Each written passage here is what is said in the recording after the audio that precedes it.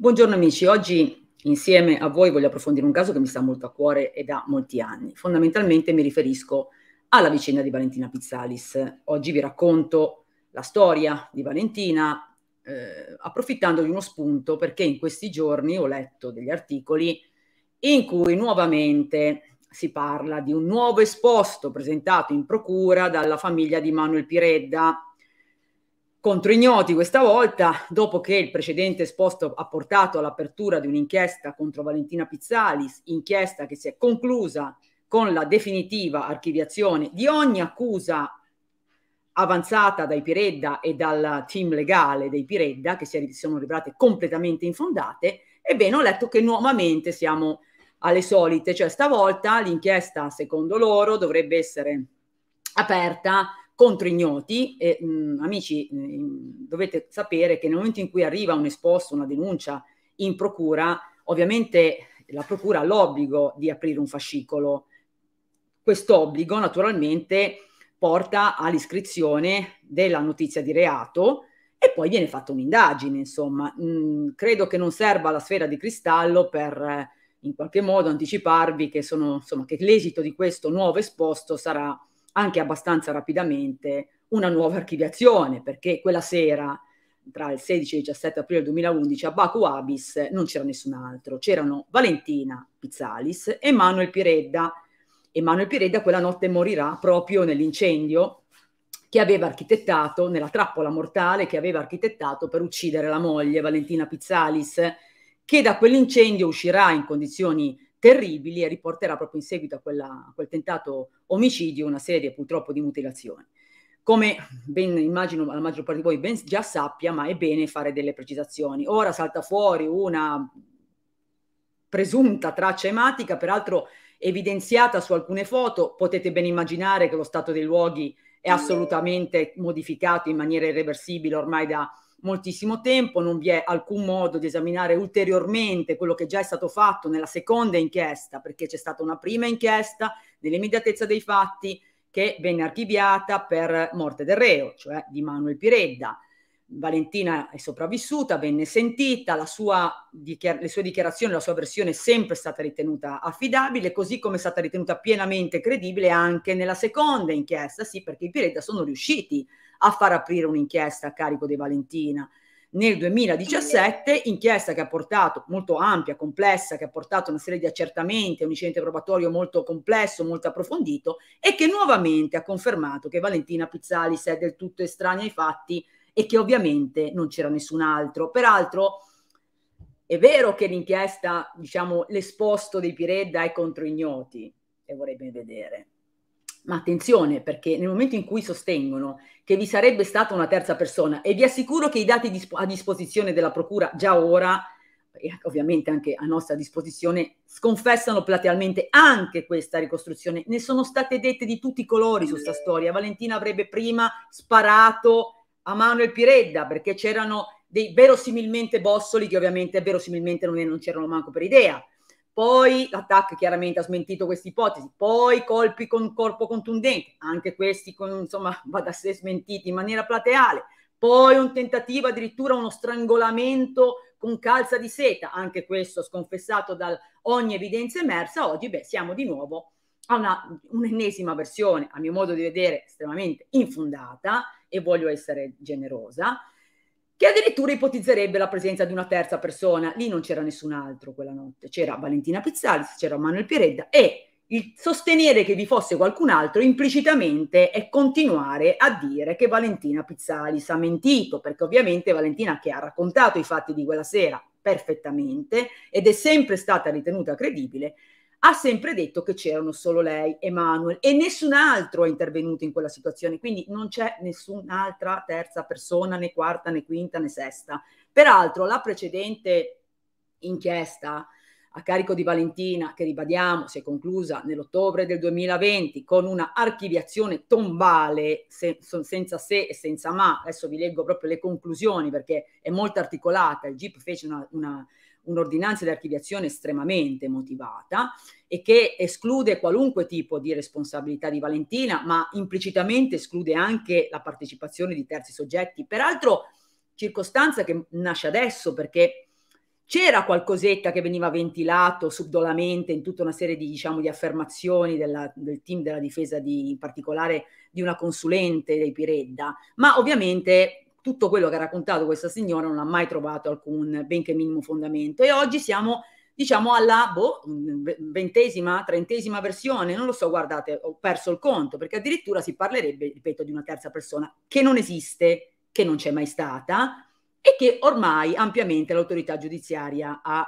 eh, diciamo, affrontato questo aspetto escludendolo. Quindi Valentina Pizzalis, se ne devono fare una ragione, è stata ritenuta ampiamente credibile sia nell'inchiesta principale dove era vittima, sia nella seconda inchiesta in cui era indagata. Non lo è più e continuare a definirla come ex indagata di omicidio, incendio doloso, non porta, diciamo, molto lontano. Capisco che il livore di certe persone evidentemente non si riesce a elaborare, forse in virtù di problematiche personologiche che magari hanno anche radici lontane nella prima infanzia, ma ho visto comparire nuovamente profili social contro Valentina, pagine farneticanti che hanno un po' lo stesso stile, diciamo, di quelle che abbiamo visto in, pass- in un recente passato, quindi vediamo una certa congruenza sia semantica che diciamo psicopatologica rispetto a queste pagine e a chi le gestisce, profili, manco a dirlo, ovviamente falsi e compagnia cantando. Attenzione perché non c'è nessuno spazio per riaprire questo caso, è stato fatto un esposto e siccome è obbligatorio nel momento in cui arriva una notizia di reato, anche la più farlocca, anche la più assolutamente insussistente, deve essere chiaramente l'iscrizione della notizia di reato, dopodiché la procura fa le sue valutazioni e qui non mi pare che ci voglia la sfera di cristallo, arriverà alle sue conclusioni, a mio modo di vedere, in questo caso archiviando per manifesta infondatezza della notizia di reato, ma questo diciamo, però ancora siamo alle solite, cioè ancora si cerca di accreditare una versione dei fatti in cui Piredda non è un assassino, perché di questo parliamo, c'è un soggetto che ha attratto in, ta- in trappola Valentina con l'obiettivo di ucciderla, non c'è riuscito per miracolo e ha pagato con la sua vita dove loro dicono di aver trovato questa fantomatica traccia ematica, peraltro ripeto da fotografie perché la scena non è più disponibile da molti anni, ci poteva restare ed essere solo Piredda e questo è stato ampiamente dimostrato dalla, sia dalla prima che dalla seconda inchiesta che si, si conclude con le parole del GIP che sono poi le seguenti. Ora vi fa, la faccio breve perché diciamo la, l'ordinanza di archiviazione è bella corposa e si conclude sostanzialmente Così, sulla base di quanto sopra, quindi tutte le argomentazioni, quindi tutte le accuse mosse dalla, dalla, dai Piredda per il tramite chiaramente dei loro legali e dei loro consulenti, deve concordarsi con le argomentazioni del PM, che è lo stesso peraltro che viene citato negli articoli che vi dicevo su questa fantomatica riapertura, circa l'insussistenza dei presupposti per l'esercizio dell'azione penale nei confronti di Valentina Pizzalis e ciò per assoluta inconsistenza di quelli che gli opponenti, cioè i Piredda, ritengono elementi a carico di Valentina.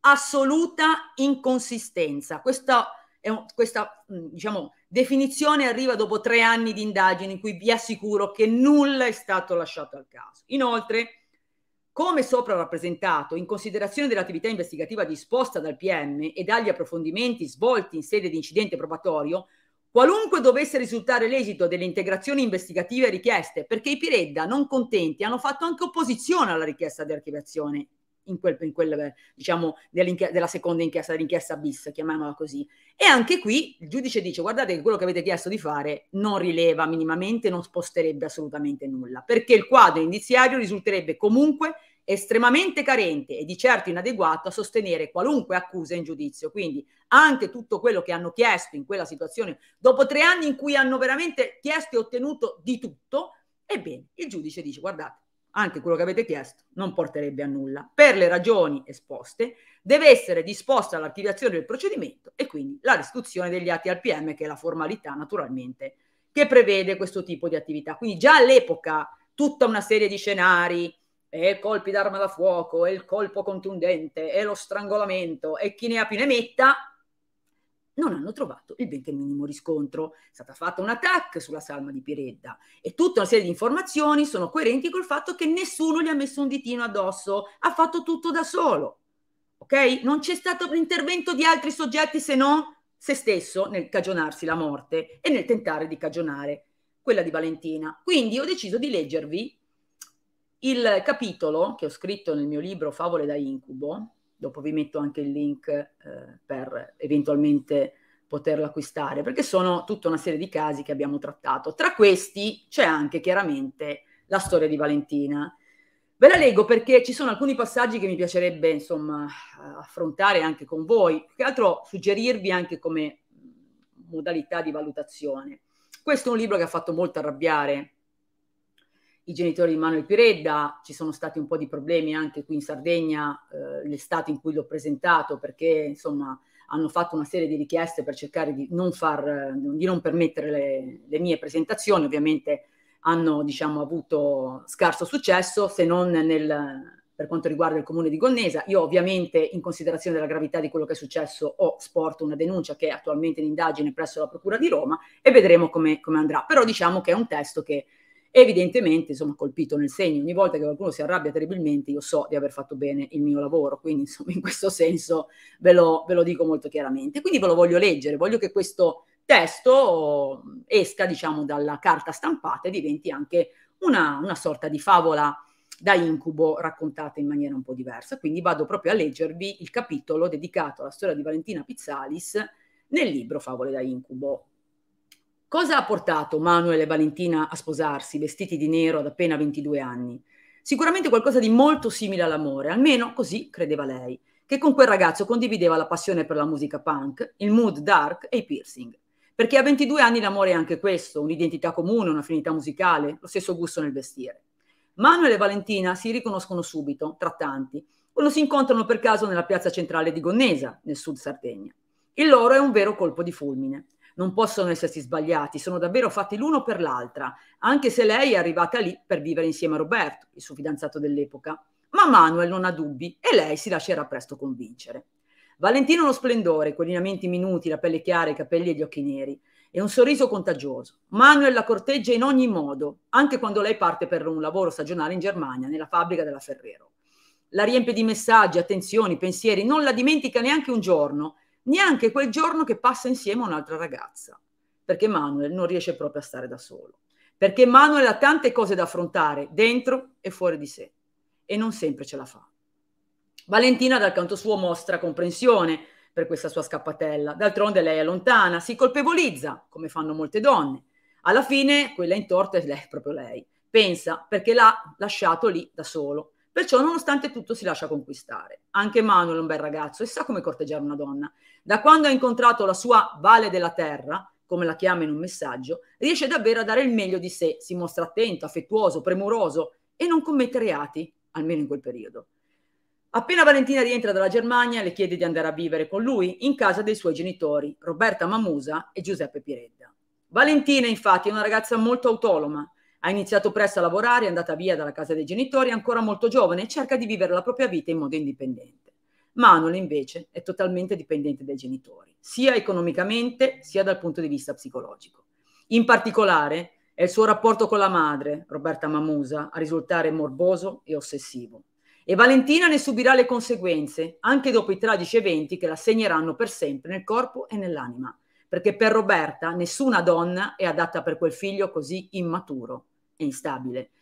Inciso che faccio io adesso. Attenzione, queste non sono informazioni, diciamo così, astrattamente mh, soggettive. Queste sono valutazioni psichiatriche che sono ampiamente riportate nella storia giudiziaria e psichiatrica di Manuel Piredda. Venne addirittura per un... aveva commesso un reato molto grave, è stato valutato sotto il profilo psichiatrico, sottoposto a perizia psichiatrica, e valutato come incapace di intendere di volere proprio per, a causa di queste problematiche, questo disturbo della personalità gravissimo e le problematiche legate chiaramente alla tossicodipendenza. Quindi non sono informazioni, diciamo così, da prendere a cuor leggero, ma sono il frutto di quello che è emerso agli atti dell'indagine e poi divena, è, divenuto anche chiaramente di eh, dominio pubblico. L'incubo della gelosia. Pochi mesi dopo essere andati a convivere, il 4 marzo 2006, Valentina e Manuel si sposano, eleganti e vestiti di nero come piace a loro, in una cerimonia allegra ed estrosa in cui tutti sorridono e sembrano felici. Purtroppo però il matrimonio dura pochi mesi. L'adorato neomarito si rivela molto presto un ragazzo profondamente disturbato, ansioso, preda di deliri e comportamenti inaccettabili nei confronti della moglie. Quella che inizialmente sembrava solo una tipica e gestibile gelosia da innamorato un po' sopra le righe, diviene un vero e proprio comportamento ossessivo insostenibile. Manuel fa continue scenate alla moglie, anche in pubblico, anche nel bar dove lei lavora. Quando vanno a dormire chiude la porta chiave, toglie la maniglia dalla finestra in modo che non possa essere aperta e circonda il letto di sacchetti in modo tale che Valentina non possa alzarsi senza far rumore. Le sequestra il cellulare e non la lascia andare da sola neanche in bagno, tormentato dal sospetto che lei possa nascondere un secondo telefonino. Se fosse per lui non la manderebbe nemmeno a lavorare e comunque non vestita in quel modo. Insomma, ben presto la favola d'amore si trasforma in un incubo fatto di controllo ossessivo e violenza. Valentina non ce la fa e va via. Lo lascia e torna a vivere a casa dei genitori a Carbonia. L'esperienza l'ha segnata profondamente, in molti, in paese, la ritengono strana per via dei piercing, del carattere ribelle, ma in realtà è una brava ragazza coi piedi per terra. La separazione, ma soprattutto l'errore di valutazione fatto nei confronti di Manuel, l'hanno portata a rimettersi in discussione in modo propositivo. Proprio come un'araba fenice, è disposta a tornare sui suoi passi, rinuncia per un po' alla propria indipendenza, accettando l'aiuto della famiglia, e decide perfino di rimettersi a studiare. Ha progetti concreti e si impegna a fondo per realizzarli. Lei non è come Manuel, sa quello che vuole, ma soprattutto sa che non vuole più stare con lui. Verso l'abisso. Mentre Valentina studia, lavora e cerca di ricostruirsi e porre le basi più solide per il proprio futuro, Manuel sprofonda in un abisso di disagio mentale, droga, alcol e psicofarmaci. Per procacciarsi i soldi necessari a rifornirsi di benzodiazepine, di cui è arrivato a consumare quasi due scatole al giorno, quasi chiede la carità a chiunque. Anche questo sul punto non è una nostra affermazione. Lo dice chiaro e tondo una zia di Manuel che l'ha visto in condizioni veramente disperate, proprio in quel tipo di intervallo temporale. Torniamo alla storia ma soprattutto ruba, anche in casa dei genitori della ex moglie, che però decidono di non denunciarlo, preferendo tentare di aiutarlo in altri modi, dargli una possibilità di recupero, perché anche, loro, anche loro si sono resi conto che è messo male e nonostante tutto non vogliono procurargli altri guai. Manuel, nella sua condizione, è stato anche abbastanza fortunato perché ha trovato persone come Valentina e la sua famiglia che in qualche modo gli vogliono comunque bene e vorrebbero dargli una mano, anche se è difficilissimo perché lui non si lascia aiutare. Ma dall'altra parte ci sono i suoi genitori che continuano a ignorare lui e i suoi problemi e anche sul punto esistono riscontri del fatto che sia stato detto, chiaro in particolare alla madre di Piredda, che era necessario un ricovero proprio a ridosso dei tragici fatti di quella maledetta notte a Baku Abis. Chissà che magari quel ricovero avrebbe sottratto tutti a questa terribile vicenda che continuano a ignorare lui e i suoi problemi, sempre più evidenti, sempre più drammatici, sempre più irrecuperabili, preferendo mettere la testa sotto la sabbia e la polvere sotto il tappeto. E anche qui ci sono ampi riscontri, non, è, non sarebbe un problema entrare maggiormente nel merito, nel caso. E dire che sanno bene che ormai è alla deriva. Poco tempo prima della tragedia, la stessa psichiatra di Manuel dirà chiaramente alla madre che è meglio ricoverarlo perché la situazione è fuori controllo. Ma neppure questo servirà a mamma Roberta per decidersi ad arginare quel figlio così fragile, immaturo, disturbato, autodistruttivo e pericoloso per sé e per gli altri. Eh già, perché Manuel dà segnali di disagio psicologico sempre più seri, tanto da essere sottoposto a perizia psichiatrica poco tempo dopo essere stato lasciato da Valentina. Una notte, lui, che è già stato condannato per guida in stato di ebbrezza, viene fermato da una pattuglia perché sta guidando un veicolo privo del pneumatico anteriore destro. Avete capito bene? Privo del pneumatico anteriore destro, non con una ruota sgonfia, ok? Ai carabinieri dice di non avere con sé i documenti e rilascia false generalità, dando il nome dell'ex fidanzato di Valentina, Roberto. Ma quando viene invitato a sostituire lo pneumatico mancante, perde il controllo e inizia a rivolgersi agli agenti con parolacce e insulti. I carabinieri decidono allora di sottoporre il ragazzo al narcotest, ma Manuel dà in escandescenza e comincia a tirare calci. Arrestato in flagranza di reato, viene processato per direttissima per esistenza pubblico ufficiale falso in atto pubblico, ma viene assolto in quanto non imputabile, essendo totalmente incapace di intendere di volere al momento del fatto. Il perito incaricato dal tribunale, infatti, nella sua perizia dichiara non solo la forte dipendenza dell'imputato da benzodiazepine, ma anche un disturbo di personalità con evidenti tratti immaturi e paranoidei, che l'abuso di farmaci ha peggiorato. Invitata a curarsi, Manuel rifiuta il ricovero e continua a fare uso e abuso di stupefacenti e benzodiazepine. Continua anche a rubare fino a quando il 3 luglio 2010 finisce agli arresti domiciliari. Una settimana dopo i carabinieri lo intercettano nei pressi di una far- parafarmacia, scatta l'inseguimento che termina a casa Piredda, dove sua madre dichiara agli agenti che Manuel si trova in camera sua, mentre lui stesso ammetterà, smentendola, di essere uscito a cercare una dose. Ancora una volta Roberta Mambusa copre il figlio,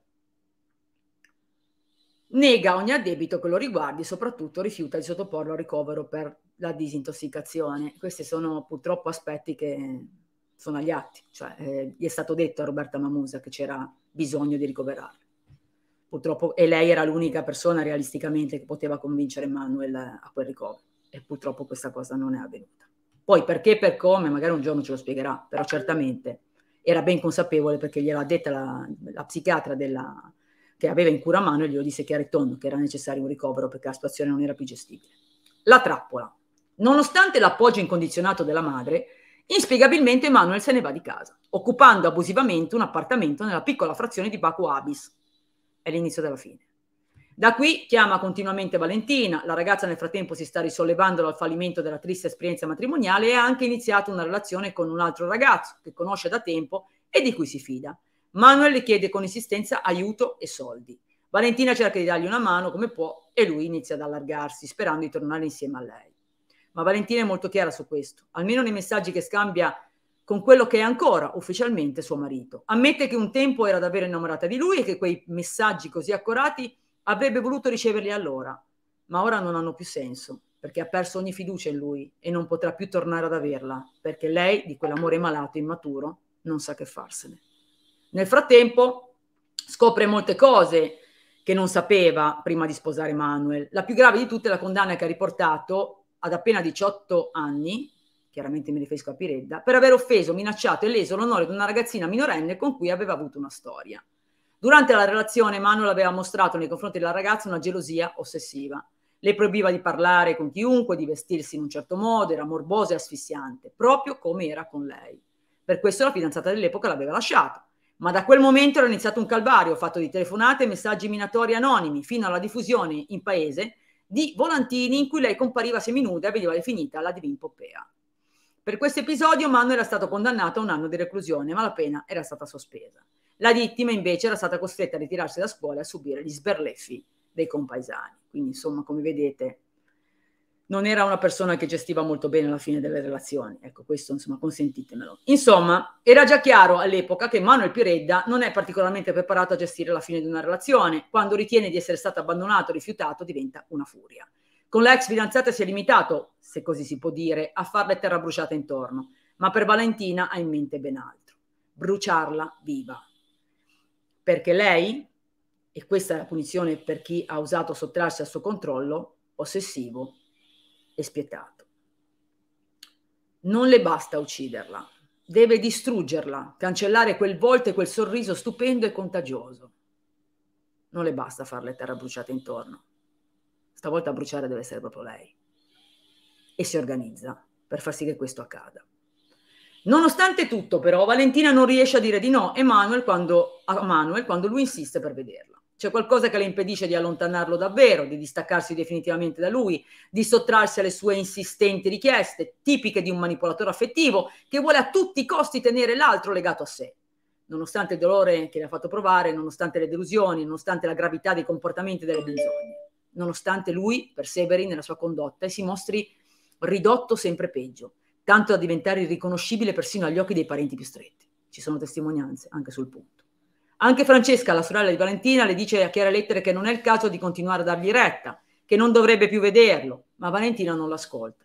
Non l'ascolta neanche la sera del 16 aprile del 2011, quando si reca a casa di lui. Manuel l'ha tirata in quella trappola mortale con l'ennesima menzogna, con la stessa prepotenza di sempre. Perché lui la chiama, quando lui la chiama, lei deve correre da lui. Punto e basta. E lì c'è una un'enormità di messaggi che lui le manda quella sera, eh, peraltro mentendo perché non è vero che il giorno dopo avrebbe dovuto vedere il suo avvocato, lei avrebbe dovuto portargli un documento, fa, insomma fa in modo e maniera l'asfissia di messaggi per convincerla ad andare da lui quella maledetta notte. La notte tra il 16 e il 17 aprile 2011 un terribile incendio devasta un piccolo appartamento al quarto piano di una palazzina nella frazione di Baku Abis, nel comune di Carbonia. I vicini chiamano i soccorsi che trovano una ragazza devastata dalle fiamme in fin di vita e il corpo senza vita di un ragazzo con evidenti ustioni su varie parti del corpo. Cosa è accaduto? Quando Valentina è entrata nell'appartamento occupato abusivamente da Manuel Piredda, lui le ha rovesciato addosso della benzina e le ha dato fuoco.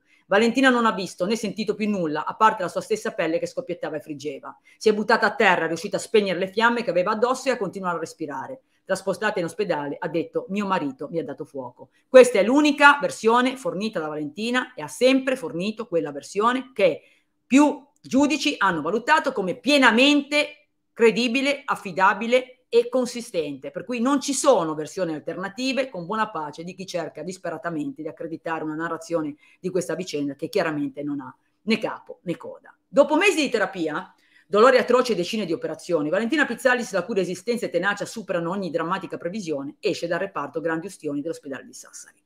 Non ha più una mano, non ha più il naso, né un centimetro della sua pelle. Ma le è rimasto il sorriso, come dice lei stessa qualche tempo dopo, quel sorriso contagioso e luminoso che l'ha sempre contraddistinta, quel sorriso che è il simbolo della sua capacità infinita di resilienza, proprio come un'araba fenice. Quel sorriso che Manuel Piredda voleva spegnere per sempre con il suo lucido e scellerato piano criminale, perché di questo parliamo, di un tentativo di omicidio pianificato, premeditato e organizzato. Lui ha portato a casa sua la benzina necessaria per uccidere Valentina e nessun altro. Non ci sono terzi soggetti, né quarti, né quinti, né sesti. Erano loro due ed è finita come ben tutti sappiamo. Manuel Piredda è morto nell'incendio da lui stesso appiccato per uccidere la moglie. È rimasto intrappolato nell'angusto ambito dell'appartamento mentre cercava di dare fuoco al resto dell'abitazione. Le fiamme sono divampate a pochi passi da lui, consumando tutto l'ossigeno disponibile e lui si è accasciato a terra morendo pochi istanti dopo. Come Erostrato, il pastore dell'antica Grecia che voleva lasciare un segno indelebile di sé incendiando il tempio di Artemide, una delle sette meraviglie del mondo antico. Anche Emanuel pensava di usare il fuoco per spegnere e segnare la carne e l'anima di Valentina, per marchiarla in maniera indelebile. Ma per lui, come per l'antico criminale, il folle gesto si è trasformato nella propria condanna a morte. Valentina è sopravvissuta e risorta. La sua storia è diventata un libro ed è poi confluito in un docufilm, Il futuro è donna, per la regia di Gio Squillo, presentato alla Mostra del Cinema di Venezia nel 2017. Il suo volto è diventato un simbolo della lotta contro il femminicidio. La sua personalità sempre generosa nonostante tutto è ora il motore della nuova e preziosa battaglia per la consapevolezza e la prevenzione della violenza sulle donne. Questa storia ci insegna molto. La vicenda di Valentina Pizzalis rappresenta il culmine estremo dello stereotipo della donna come proprietà assoluta dell'uomo, in cui la possibilità che la proprietà si sottragga al suo proprietario non è contemplata. La pena per la fuga in questo caso è non solo la morte, ma la distruzione totale della vittima sotto ogni punto di vista. Il fuoco è il modo che usa Manuel per dire a Valentina non mi basta ucciderti, io ti devo distruggere, di te non deve rimanere niente perché hai osato sottrarti al mio controllo. È lo strumento per annullare la vittima, anche simbolicamente, cancellando tutto ciò che è più rappresentativo di lei, il volto, che in questo caso è l'elemento su cui Piredda focalizza maggiormente il suo concetto di possesso. Manuel vuole distruggere quel sorriso così abbagliante, così seducente, così bello. E certo un incendio è il mezzo più adatto tra tutti a ridurre in cenere qualunque traccia di quella donna, della quale non resta davvero più nulla. Ecco, forse spiegato perché ricorre così spesso nelle vicende di femminicidio. Ma lo stesso meccanismo psicologico è alla base anche delle molte aggressioni con l'acido. Spesso in casi così estremi, il senso di possesso, entra in atto lo stereotipo connesso o mia o di nessuno, ossia il momento decisivo che fa scattare qualcosa nella mente del manipolatore ed è proprio quello in cui l'oggetto, letteralmente, della sua ossessione osa tentare di rifarsi una vita senza il manipolatore. Perché è in quel frangente che al predatore diventa chiaro una volta per tutte di aver perso la sua donna per sempre. E poiché lei appunto è sua, non è ammissibile che possa essere ora di qualcun altro. Di qui l'unica soluzione percorribile agli occhi del carnefice, distruggerla nel peggior modo possibile. Infatti Manuel diventa più invadente nei confronti di Valentina, inondandola di messaggi in cui la prega di tornare insieme, proprio quando lei, dopo averlo lasciato, inizia una nuova relazione. E la cultura maschilista imperante non aiuta a superare questo meccanismo, ne sono prova le mille canzoni spesso in voga tra i giovanissimi che inneggiano rapporti di subordinazione della donna al proprio uomo, che trattano la donna come un oggetto di proprietà e che arrivano addirittura a prospettare gesti estremi nel caso in cui, malauguratamente per lei, l'amore dovesse finire. Tale retroterra culturale non è estraneo né a Manuel né a Valentina che posta alcune di queste canzoni sui suoi profili social. Di certo, i segnali che Manuel vedesse le donne come proprietà non mancavano. Basti pensare alla vicenda della sua ex che distrugge simbolicamente, diffamandola, quando lei lo lascia. Ma ci sono anche segnali più comuni e per questo, anche per questo spesso sottovalutati, perché considerati normali, come le scenate di gelosia, i tradimenti, ai quali Valentina inizialmente non dà il giusto peso. Perché? Perché non dà il giusto peso? Perché dietro questi comportamenti si nascondono di nuovo degli stereotipi di genere. Quante donne giustificano la gelosia dei propri uomini considerandola un segno d'amore o di interesse? È geloso perché mi ama, è forse una delle più grandi e diffuse bugie che le donne raccontano a se stesse da sempre. Anzi, la mancanza di manifestazioni di gelosia è considerata a volte un segnale di assenza d'amore o di un amore troppo tiepido, di scarso interesse, insomma. Quando invece dovrebbe essere la norma in un rapporto in cui ci si rispetta e si ha fiducia l'una dell'altra. Ma questo è vero per entrambi i sessi e non solo per gli uomini. Le famose scenate di gelosia che tante donne mettono in atto verso i propri uomini sono in fondo segnali della condivisione della stessa idea, che l'amore sia possesso dell'altro.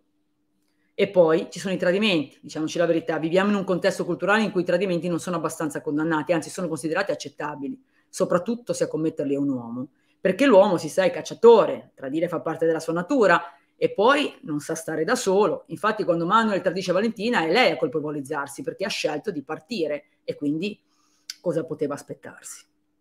Che lui la attendesse fedelmente? La risposta è sì, ovviamente, ma evidentemente non è poi così scontata.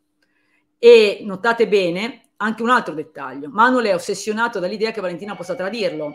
Di qui le scenate di gelosia pubbliche per motivi futili, ma lui, in quanto uomo, si sente autorizzato a farlo, sia pure giustificandolo con la lontananza. Perché anche se lui a tradirla, la colpa ricade sempre invariabilmente su Valentina. Del resto, così è scritto dalla notte dei tempi, quell'epoca così lontana da noi, ma ancora così drammaticamente e energicamente presente nel modo in cui ancora definiamo sia i modelli di genere che i rapporti tra le persone, soprattutto, anche se non solo, all'interno della relazione sentimentale.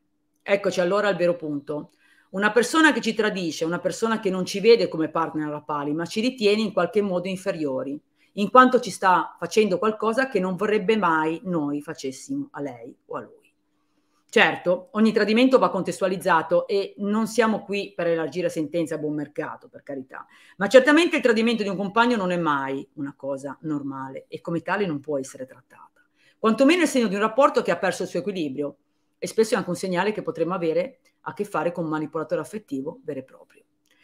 Ma nella vicenda di Valentina e Emanuele c'è anche onnipresente lo stereotipo della donna badante, che in questo caso assume una forma interessante, perché la principale succube di questa idea non è Valentina, bensì è la madre di Manuel, Roberta Mamusa. Valentina certo possiede dentro di sé l'istinto di accudimento, tanto non avere il coraggio di rompere del tutto i rapporti con Manuel. Ai suoi occhi lui è una persona malata che ha bisogno di aiuto e lei non riesce a negarglielo del tutto e questo purtroppo la farà cadere nella trappola mortale.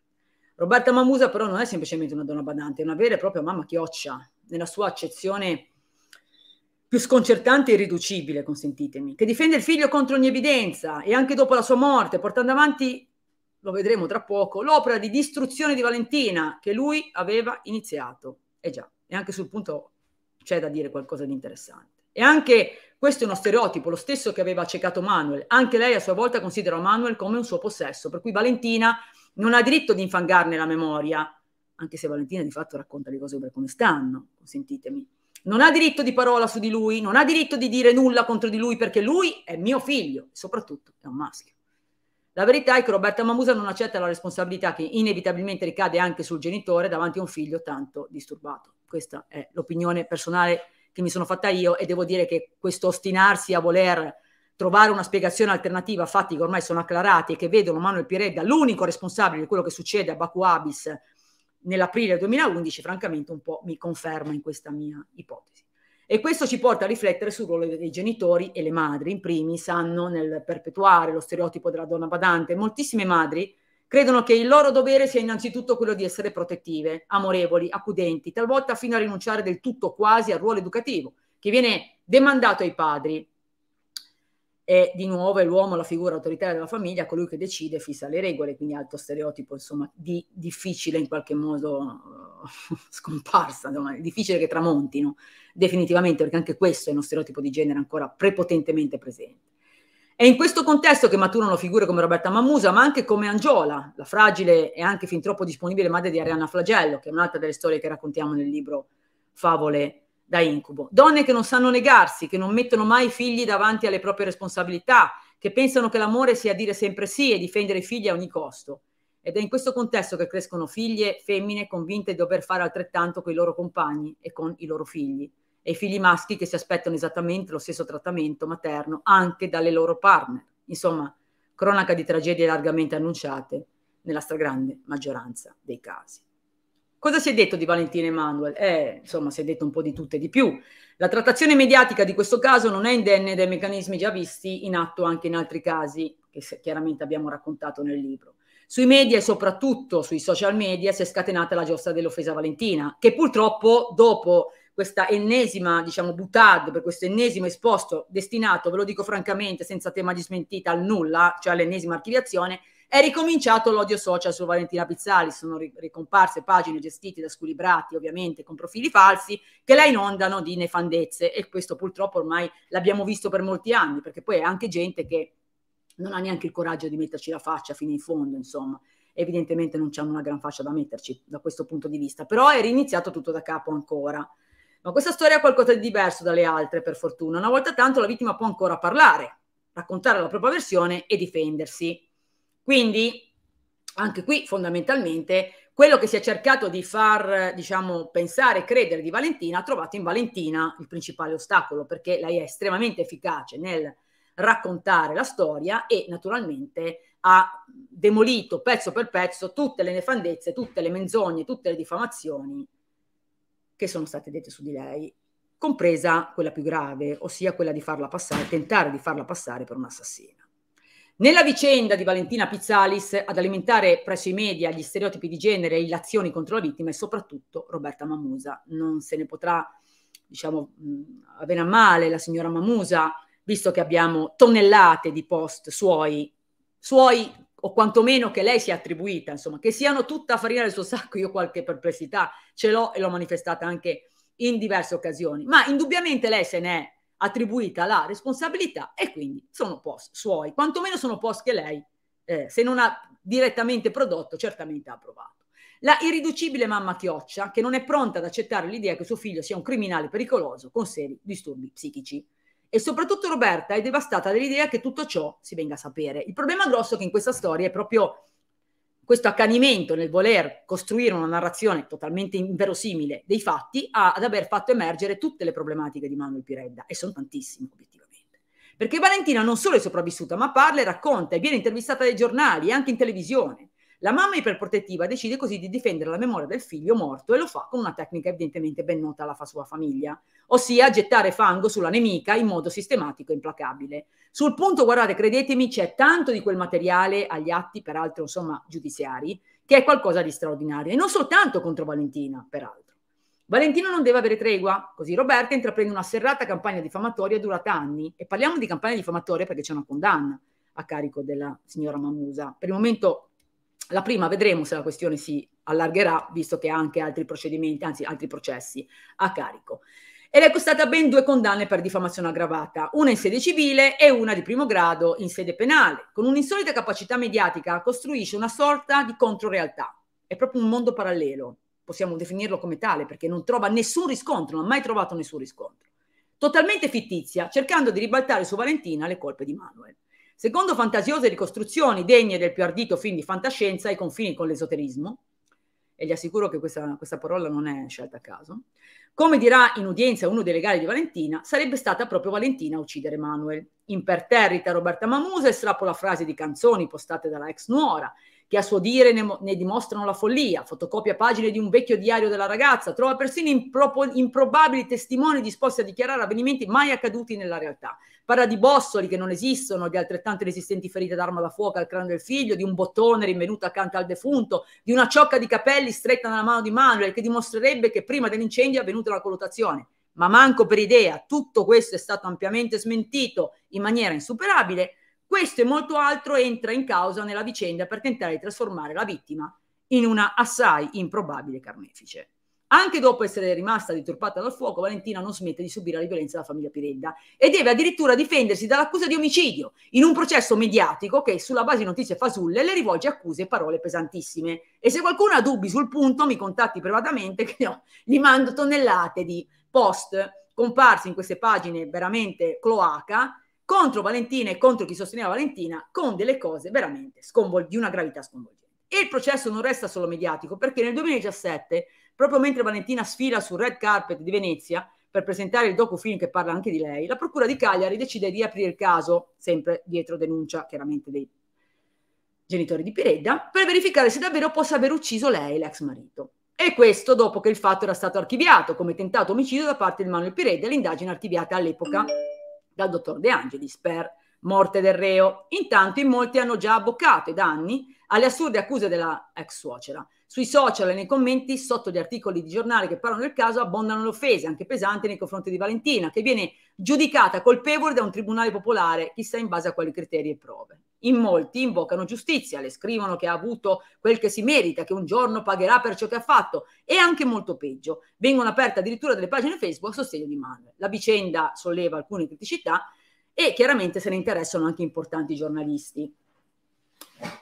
Io poi nel testo ho riportato un, uno stralcio di un, diciamo, di un articolo molto importante che tratta di questi aspetti. Non piace ai giornali, Valentina, le testate nazionali si interessano poco o niente delle accuse assurde che le vengono mosse, sono per lo più quelle regionali a parlarne. Ma nonostante tu, tutto ciò, questa storia ha qualcosa di diverso dalle altre, perché Valentina è viva e parla, come abbiamo già avuto modo di, dire. Nonostante le diffide della ex suocera ad andare in tv a parlare del figlio, racconta la propria versione dei fatti, si difende, mostra il suo volto che non sarà mai più lo stesso. La mano che ha perso nelle fiamme, sì, anche con sorriso, che nessuno mai potrà spegnerle. Scusate, c'ho il cane che chiaramente ha deciso adesso di intervenire. Infine, l'epilogo arriva. Arriva il 22 settembre del 2020, quando Roberta Mamusa viene condannata al Tribunale di Cagliari per diffamazione ai danni della ex nuora nel processo di primo grado. Poi il primo ottobre 2020 giunge la notizia che Valentina e tutti quelli che l'hanno sostenuta durante questa lunghissima e durissima battaglia giudiziaria attende da tre anni, cioè il GIP dispone la definitiva archiviazione dell'indagine a suo carico per omicidio e incendio doloso, ribadendo a chi ha lettere che lei, quella maledetta Sera Bakuabis, è stata la vittima di un tentato omicidio. È la fine di un incubo per Valentina, per la sua famiglia e per tutti coloro che l'hanno sostenuta in questi anni, finendo spesso vittime a loro volta del tritacarne mediatico orchestrato dai Piredda e da alcuni soggetti a loro molto vicini, anch'essi diciamo attenzionati sotto il profilo giudiziario ormai da un po'. Questa è la pietra tombale che pone la parola fine a una vicenda giudiziaria unica nel suo genere. L'araba fenice, ancora una volta, torna a volare alto.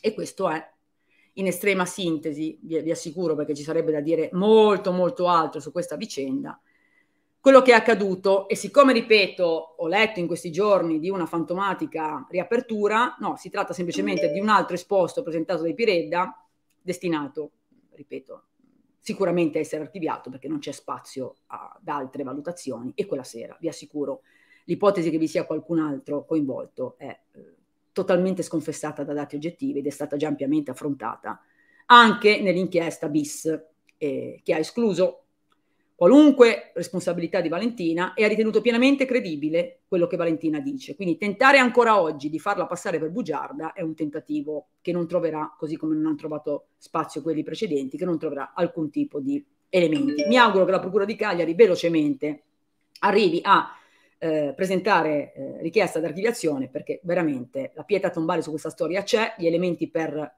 dimostrare la, l'assoluta insussistenza di questa enesima butad ci sono ampiamente disponibili, non serve sprecare altro tempo ed energia dietro una storia che ha già ampiamente scritto un finale e che trova ampi riscontri nella narrazione effettiva e unica, ossia Manuel Piredda muore nella trappola mortale organizzata per uccidere Valentina Pizzalis.